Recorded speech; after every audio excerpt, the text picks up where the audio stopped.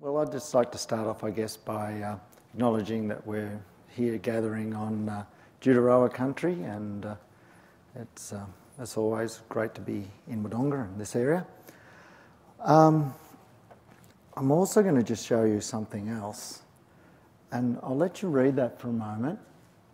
But that's the the acknowledgement of traditional owners that's in the front of all the basin plan and it'll be in the basin plan that goes to the parliament in a two weeks time.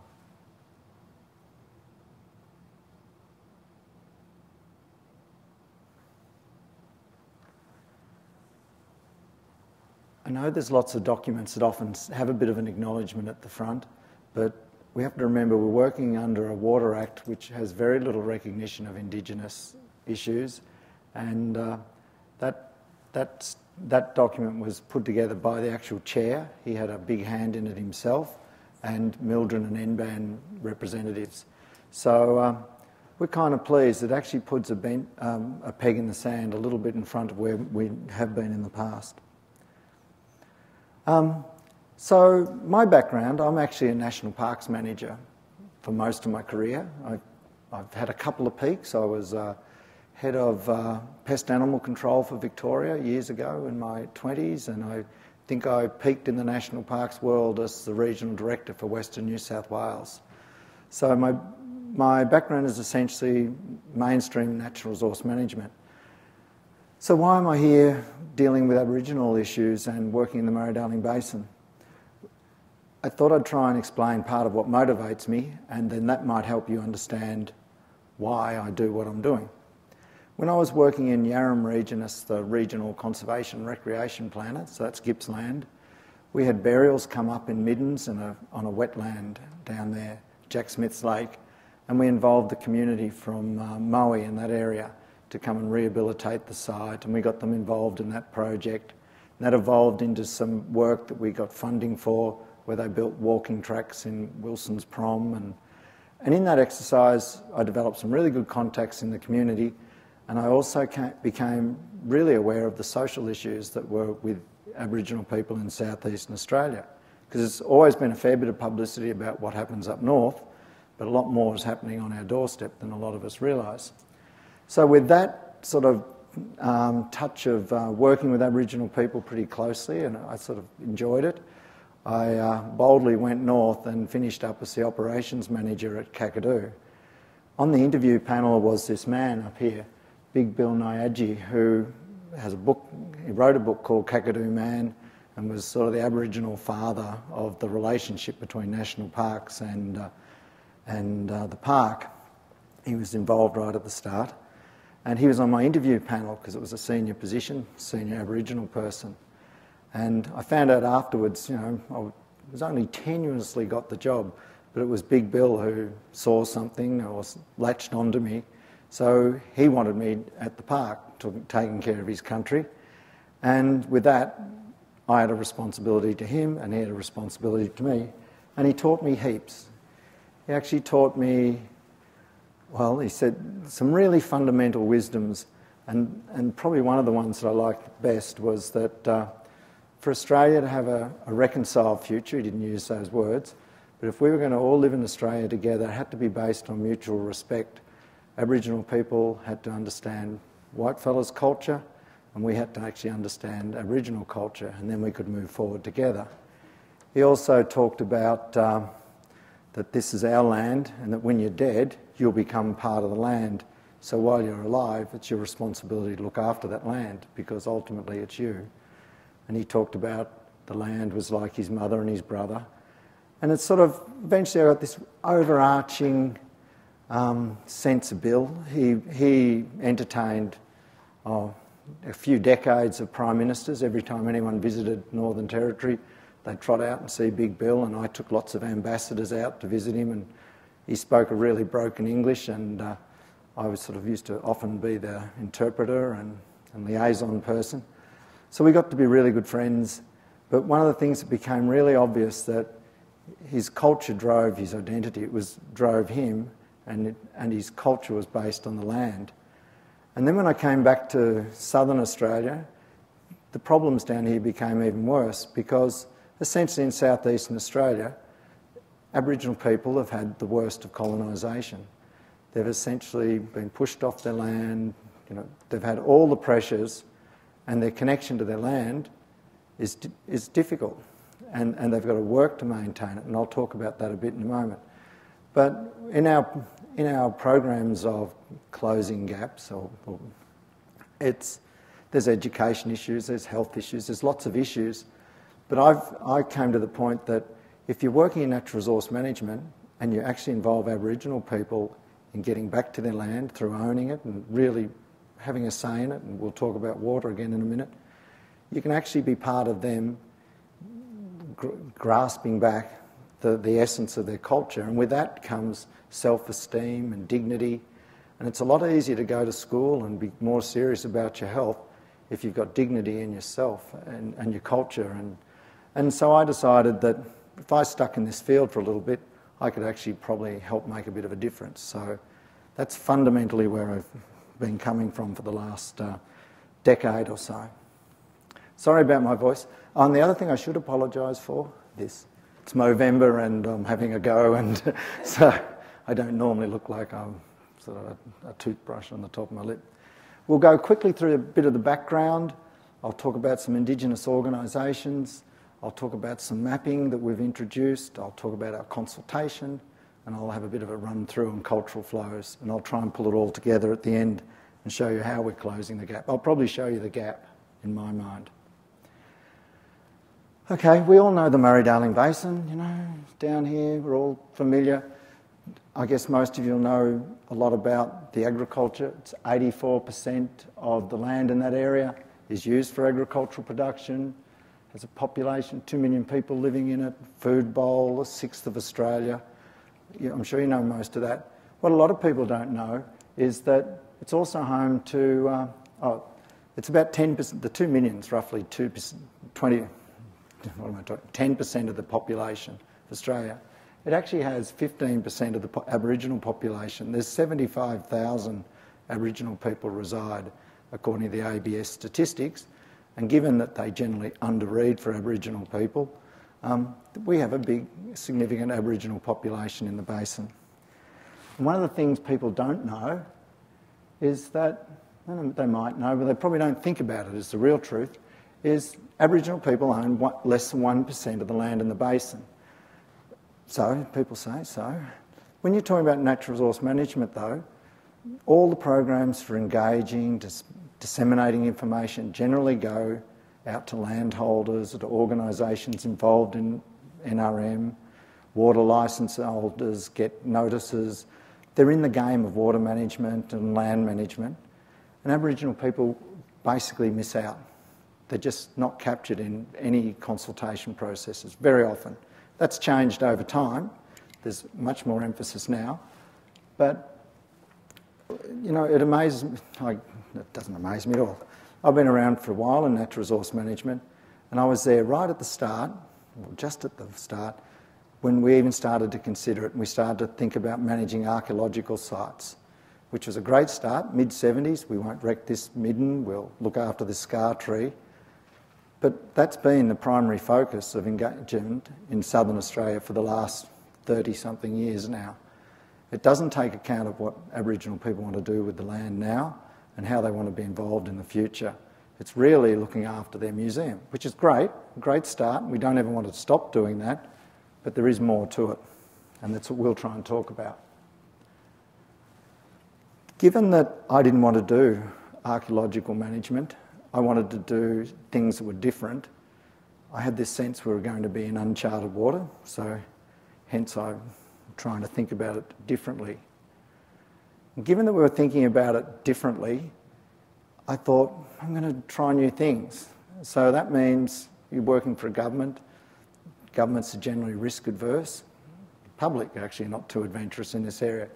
So I worked with Aboriginal people and we developed a set of principles that we'd respect the roles of traditional owners, because when you're talking about culture and land, traditional owners should have, should have the say.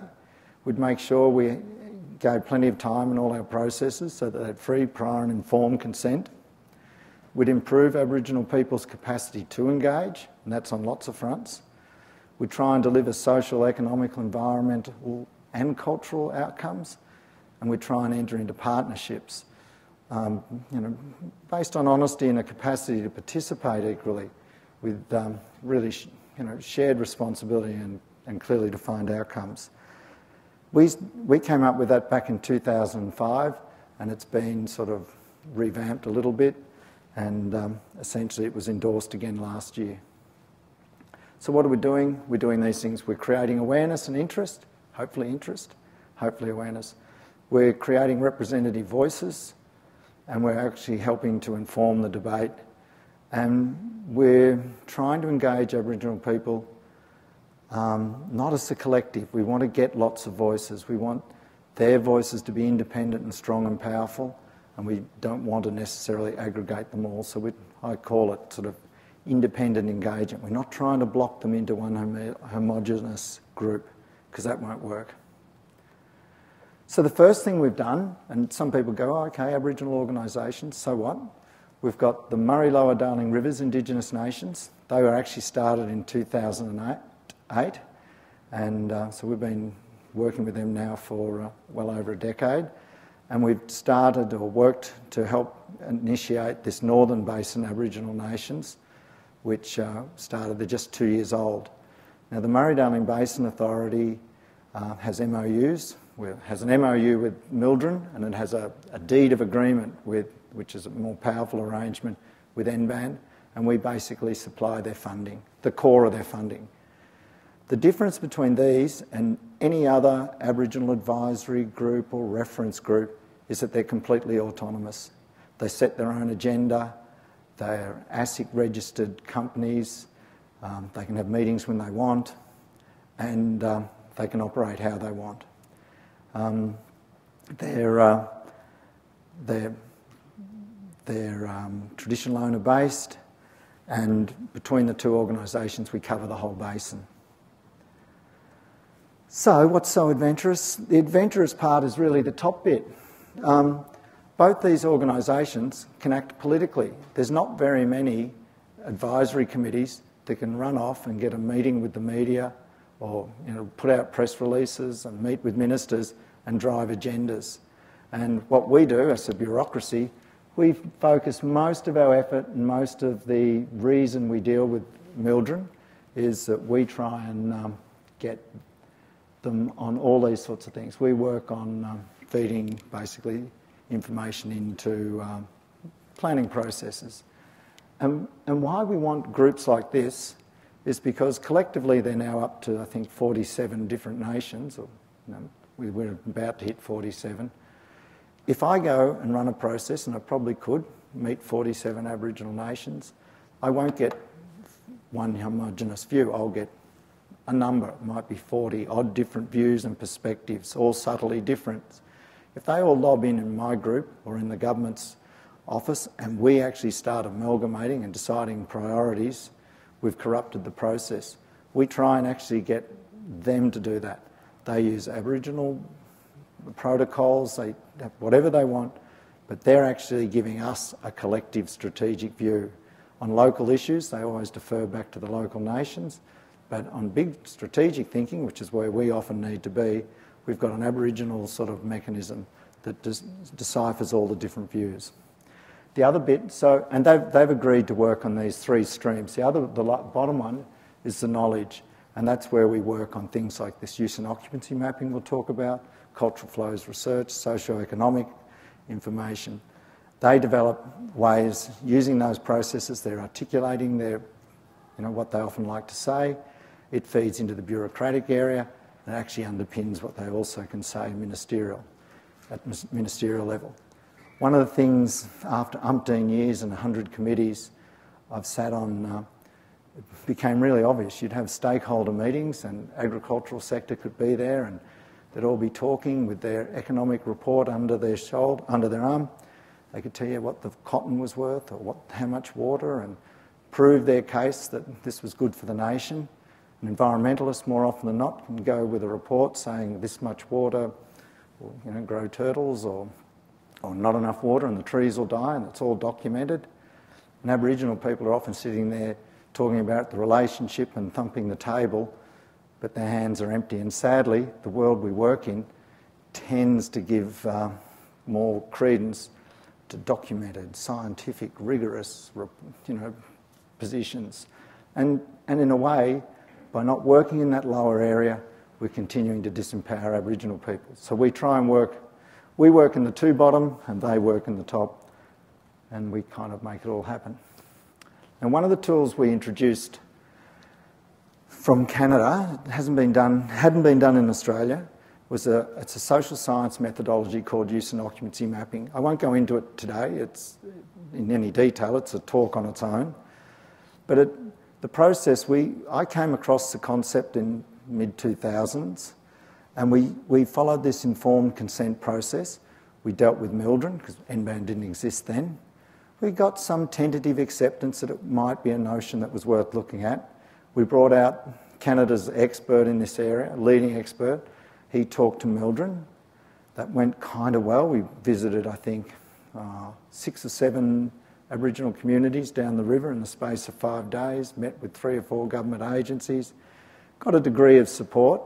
We then ran a little pre test um, with a number of individuals who were sort of brave enough to have a go. And still, we had a situation where uh, people are saying, ah, it's science. I don't know if any of you have done any research with Aboriginal people, but generally they're pretty sceptical because all the research that they've been involved in is normally done by someone else to them, and more often than not, the results end up in another place.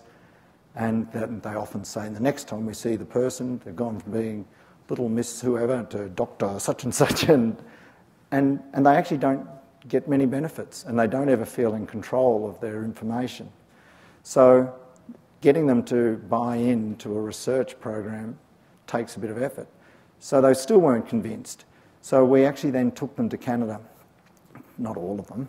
We took half a dozen pretty, um, what were they, cynical, uh, questioning people who didn't trust the system.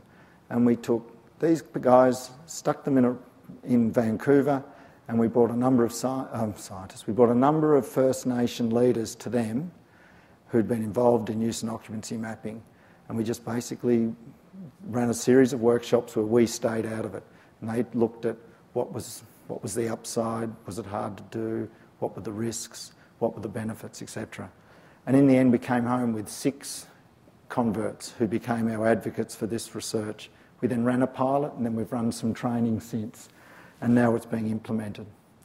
And uh, what it does, and this will help understand, sorry it leaps around, it's not quite all linear, but what we try and do is um, we work with the leadership of a community and we go in and say, you, you know, they want to do use and occupancy mapping. And use and occupancy mapping is anything but studying almost anything but archaeology.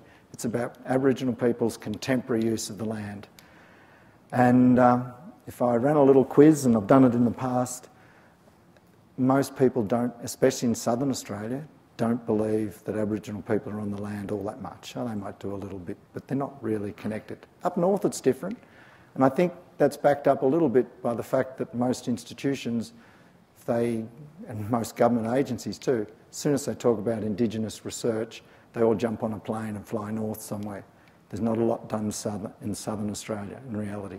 So anyway, we work with the community and we say, well, what outcomes do you want from this research? What's the purpose? Then we work on what geographic area, who would you want in it, and then we develop, and what time frame, and then we develop a list of questions that will serve that purpose. And there's a bit of, there's a fair bit goes into that. Anyway, so you end up with 40 to 60 questions about use of different resources and, and different ways they occupy their land. In that, we then go and run interviews, map based interviews with individuals, and that's called the individual map biography, gets produced from that. All of those intellectual property on those stay with the individual, never to be sort of, it's theirs. But we do ask them to agree to share their data so it can be aggregated into these themes. Those themes are then the intellectual property around those belong to the leadership, and they're the they're the maps that see the negotiating tables when Aboriginal people are trying to show their use of the land for, for natural resource planning. And um, so that, And then this one on the end, and I'll show you one of these in a minute, it's really just all the data piled into a map, and it's not particularly useful in some ways, but I think it's great in Australia because it's the myth buster. It actually proves Aboriginal people do use their land. Um, use and occupancy mapping needs little icons. The Canadian set were completely useless. A moose kill site was never going to get used in Australia. So we, we created about 90 of these for the first two projects we ran, and now we have a set of nearly 200 in Australia. But I show them because I think they're kind of nice, but they're also part of the informed consent process. We developed them with MLDRIN over a series of meetings. We had a little um, a whole lot of little sessions where we had a graphic artist and people working with that graphic artist to develop them. But when they were having to draw them and think about it, it actually really got people thinking about do we want to map where someone died? Do we want to map this? People got their head around it. And so we actually did a kind of a do we want to be involved in use and occupancy mapping process as well as coming up with a set of icons? And they were great. We ran the pilot, and I'll just quickly, quickly talk about this. From a natural resource management point of view, they definitely work. You can see where people might want water applied in a wetland. You might see where they like to camp and what parts of a river they use. So if you were planning a national park, you wouldn't stick the public camp park right on top of where they might use it. Individually, we had to prove on a bigger scale that this process wasn't like a trip to the dentist. Otherwise, we'd get no one coming through the door. It's voluntary. We found every individual involved thought the process was great, they thought it was respectful. In fact, over the space of every project, so they run for a month, I get, we all get kissed continually and hugged. People come out crying because they haven't been involved in a process that gives them a chance to express their connection with the land in a way that's so clear and unambiguous and respectful.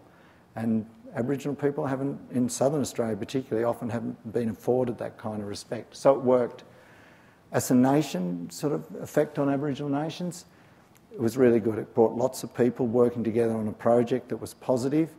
And uh, the other thing, and it happens in Canada too, a lot of people, Aboriginal people, no different to us in this regard, they often use their land individually. We go fishing here, this other family goes fishing there, not always aware what each other's doing.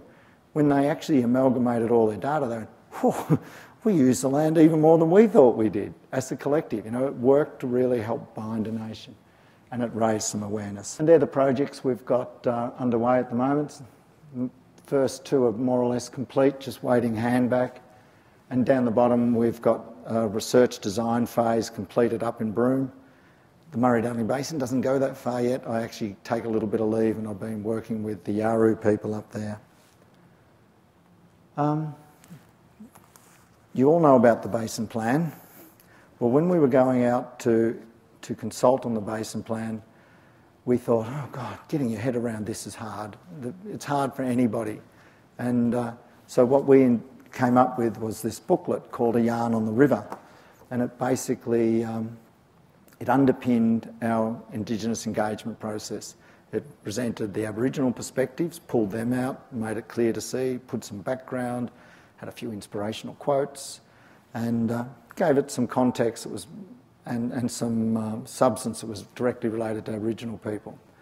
What else we did, oh, I'll go back a step. A formal engagement um, process doesn't work for Aboriginal people. Give us your views in writing, submitted by. Nowhere in Australia has that ever been particularly successful.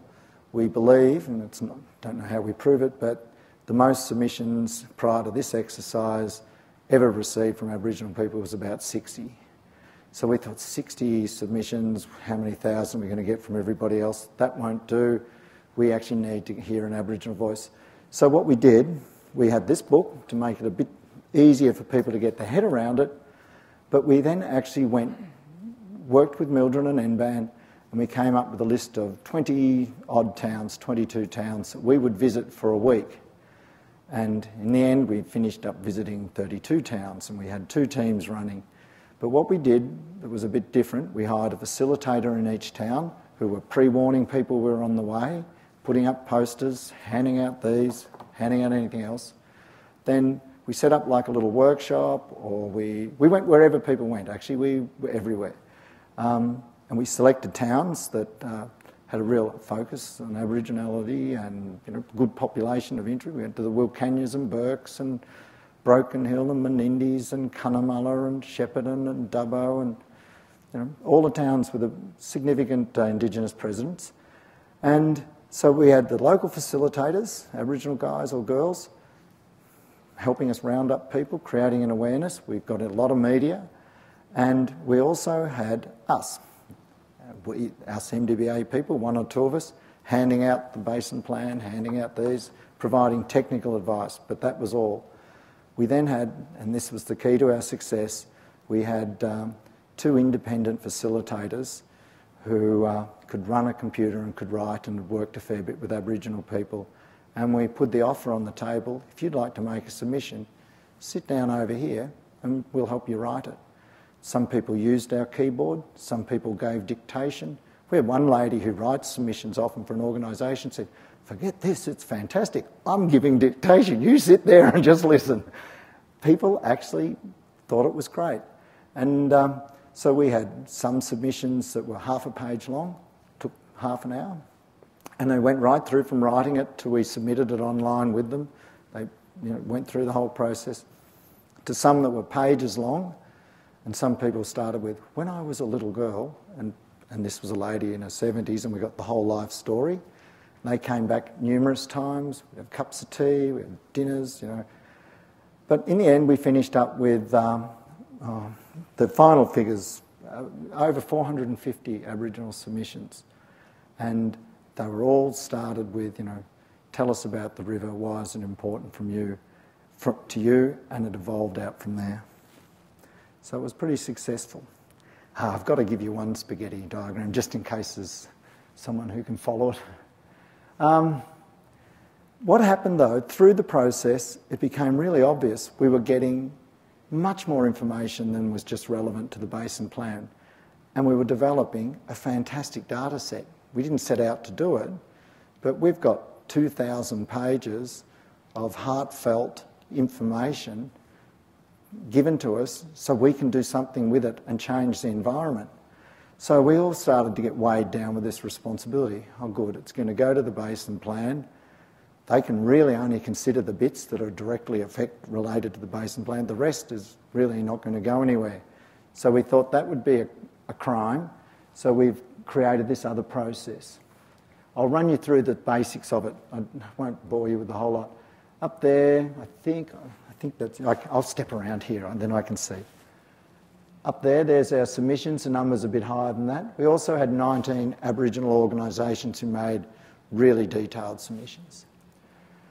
And given this was yarns on a river, we thought, oh, yarns, yarns. We'll call this process yarns woven. And we've got yarns woven one, yarn woven two, yarns woven three, and they're telling stories. Yarns woven one was there was a lot of talk about socio-economic impacts of the basin plan. It was all about agriculture generally and small towns, and we all knew there wasn't a lot known about Aboriginal socio-economic perspectives. So we went and harvested the whole 450 plus through the lens of a socio-economic analysis. Now we know it's imperfect, but it showed some, it showed we got some real information that's useful in some areas, and other areas that showed some real gaps and now our socio-economic team can go and fill some gaps. And it also involved Aboriginal people in getting their head around what the hell is a socio-economic study, you know? What bits are social and what's economic and what's it got to do with us?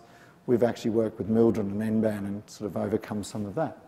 So we've finished that one and uh, we're sort of doing gap analysis and we're now doing NVivo on the whole set so we can revisit it a little bit. The next one we're doing is this yarns woven. 2, which has another name as well, but it's about answering in the basin plan. There's some bits that are really relevant to Aboriginal people. The main part that fleshes it out the most is in Chapter 9 on water resource plans.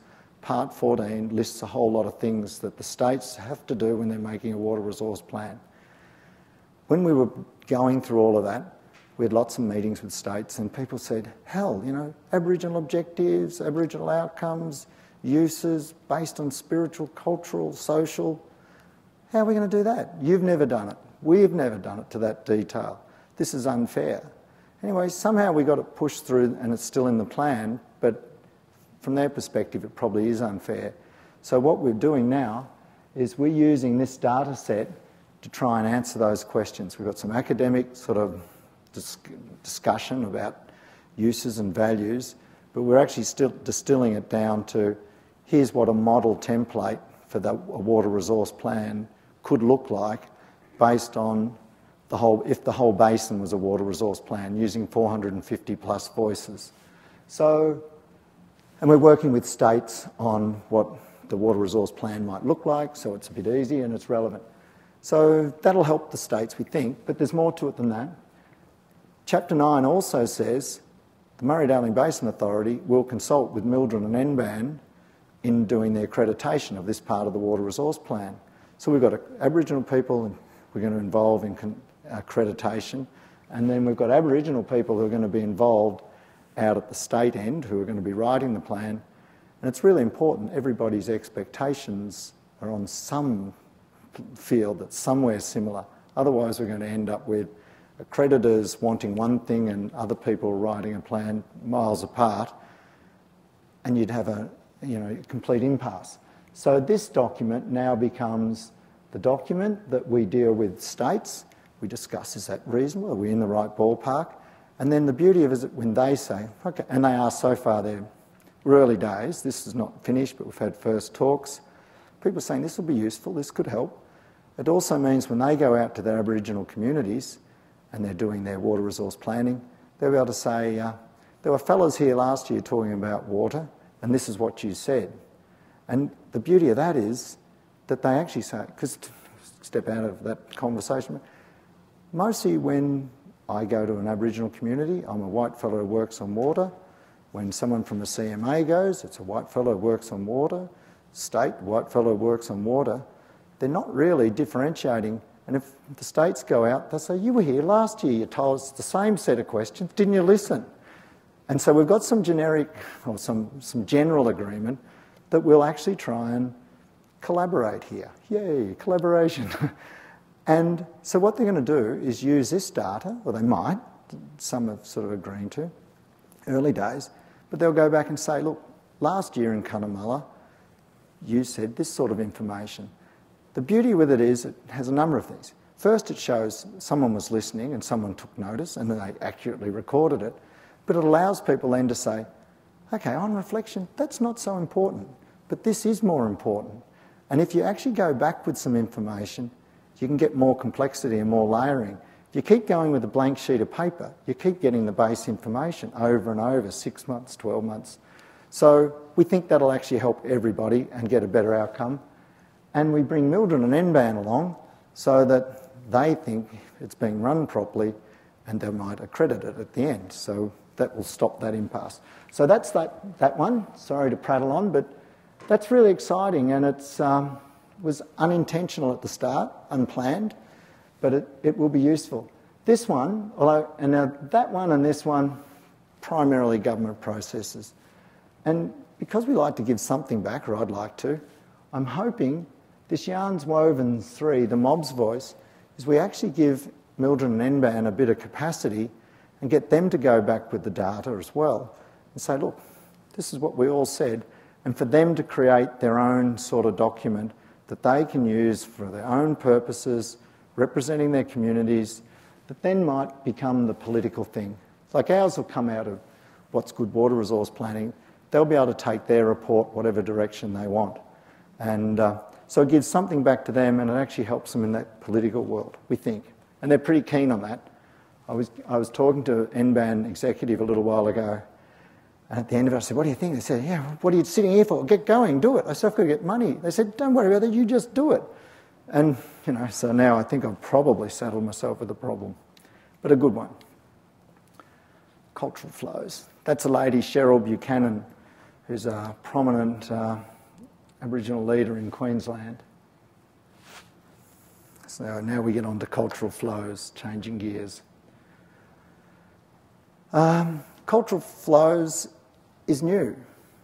it, it's newer than most of us realise. It's starting to pop up in the language and lexicon all over the place, but it really didn't get, it's not 10 years old, the concept even really.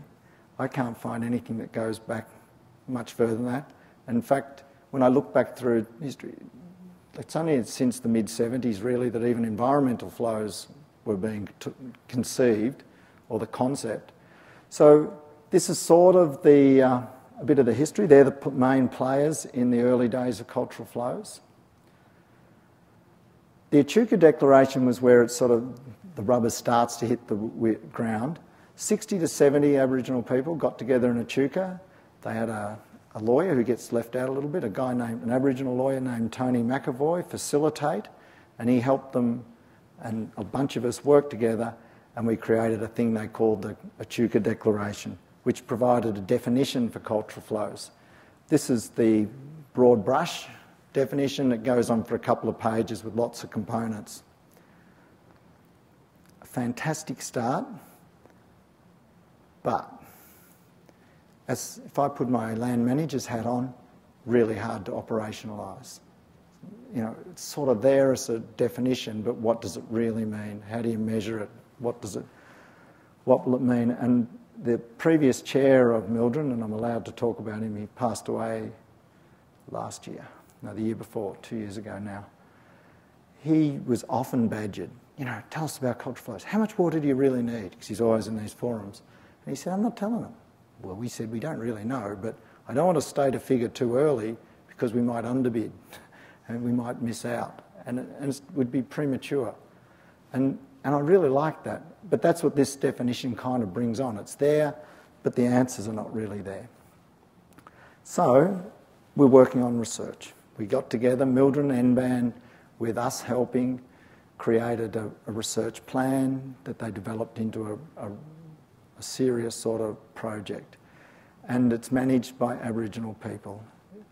It's managed by the National, National Cultural Flows Research and Planning Committee, it's now hosted by the National Native Title Council out of Melbourne. That's who they are. There's the, that first group, the Indigenous Water Advisory Committee, is an committee that's just been set up that advises SUPAC, but it's kind of evolved from the First Peoples Water Engagement Council that used to advise the National Water Commission. So it's a national focus group. We then have MLDRIN and NBAN, and we have NAILSMA, the Northern, North Australian Indigenous Land and Sea Management Alliance, which is a collective of all the, um, the um, oh, what are they called? All the lands councils across Northern Australia, and this group focus on water and they adopted MLDRIN's uh, definition. And then we've got the uh, Western Australian group who don't actually attend the meetings and just have a watching booth. So they actually are driving it and running it we have to do it because there's enough bits of mentions in legislation, there's enough international obligations to point us that direction. But the truth is, government doesn't know how to do it yet. And one of the things we want to do is make sure our research, or this research, benefits Aboriginal people first. Um, what I should do, uh, let's think. All right, let's I'll leave that up there. But fundamentally, the problem with the definition was it didn't tell you, if you were trying to operationalise it, it didn't tell you which values, how, what values, how would you measure the values. And if I'm a water manager and I'm going to water a wetland, how would I know when I was successful? How would they be able to tell us it was successful? And given that the water we're going to be dealing with is going to be worth millions of dollars, it doesn't take a lot of water to be worth millions we have to actually be able to, to flesh it out.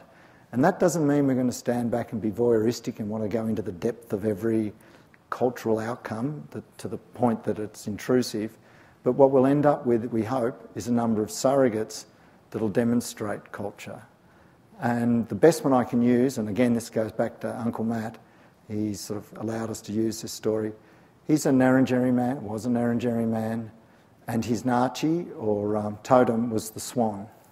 So if he owned water and he could water a wetland and create a swan breeding event, he actually was satisfying his cultural responsibilities to look after swans. His community then would collect eggs eat young, odd young swans, collect feathers for decorations, and they'd have ceremonies. So, from a swan breeding event, a successful season, a whole lot of cultural outcomes could be delivered. All we need to know as water managers, once we understand that, is get the swans to breed. And that could be a, that, that ticks cultural boxes. So if we can get some surrogates around the basin like that, we don't have to actually interrogate Aboriginal people about why do you want this and tell us how. But we'll have enough science to support that it's real because it needs to be real because you won't get the water and it's worth a lot of money unless we do that. So the second part was so you've got some values. How much water do you want? Well, it's a pretty tricky question. And how long do you want it for and when? So we're going to create a number of case study sites throughout the basin and we'll actually trial it and run models and we'll get estimates of water so that we can at least sort of know what to bid and what sort of quantities we might need to get cultural outcomes. So, so we've got the question set, we know what values, we know how much water, when, where. The next obvious question, and this is from a system that isn't really rushing to give Aboriginal people water, is how would you manage it? And uh, so we've got a bit on governance. We'll look at all the different models that from would you break it up into a, dozens and dozens of parcels? Would you create at the other end some trust or a, an Aboriginal water holder advised by a committee? So we'll look at governance. The other thing we'll do, and uh, I've heard this pretty often, won't environmental water just deliver this stuff? won't that do the job? We'll actually have a discussion paper on the difference between, or the comparison between cultural water and environmental water. Because I think what, and my prediction is that will show environmental watering doesn't necessarily deliver cultural outcomes, but cultural outcomes will deliver environmental outcomes. And which means a clever government could get more bang for the one buck. But that's a personal opinion. So, anyway, this research is now underway, and, uh, and we'll be looking at all the benefits and trying to measure those. I miss this button occasionally. Okay, this committee was all Aboriginal people. They weren't silly Aboriginal people, though. They knew they needed advice, and they had these scientists advise them. I don't know if you know most of them, but they're all professors or associate professors with one university or another across a number of disciplines. And they're all people who agreed that they wouldn't tender for any of the work. They were interested in the project from this point of view, so they supported the committee, helped devise the research proposal. So, um, so it is about as professional, as thorough, and rigorous as we could be. Nobody wants this research to get a certain way down the track and then be shot down because of poor methodology or bad thinking, poor research design. They're the outcomes. I think I pretty much went through those before, so we can jump through that. But it's really important that this research is done before we proceed too far, because otherwise we'll be really travelling in the dark and there's too many pitfalls out there. The timeline we actually only finished the research proposal late last year. We contracted out the National Native Title Council in April. They've got a project officer sitting down there. Um, it's going to run from now out for four whole years. Um, component one's commenced. The first component is a really exhaustive literature review, and not only just the academic literature, they're going to delve into all the grey literature done in government agencies and projects here and there. So this committee can't be shot down by, oh, did you know that happened and you didn't need to do that? They don't want that to happen. So they're trying to eliminate that. And then the next component, which uh, we'll be looking at the values, hopefully will be advertised in the next month or so. Project has a budget notionally of four and a half million, of $4.66 million over the four years. The Murray-Darling Basin Authority has committed a million dollars over that time. Um, they're now seeking more funding. They received a little bit of money in the last days of the National Water Commission, and they've just received $100,000 from FACSIA to keep them going for a bit longer. So I think they'll get there, and they'll eventually be going to uh, philanthropic circles and, uh, and looking for you know, private-public partnership approach. Okay, here's the gap part of the story. We're nearly there. Most of you know when we're looking at the water resources, historically, and I don't think I'd be any sort of heretic saying for the best part of the last century, water was used to serve agriculture. We know that story pretty well, and we know the results of that. It's had adverse impacts on the environment. We know now that um, we need environmental flows. That's what I was talking about earlier. From the 70s, no one had heard of them, to now they're mainstream. And this is simplified, please don't shoot me down, but um, the, the point I guess I'm trying to make is over this side, water's used, growing crops, turning that into dollars, which really leads to well-being for, for the individual. The farmers are in it for well-being, and the communities get well-being type returns. Australia gets food and gets an economy, or gets a jolt to the economy in the right direction, but it's been at the expense of some environment.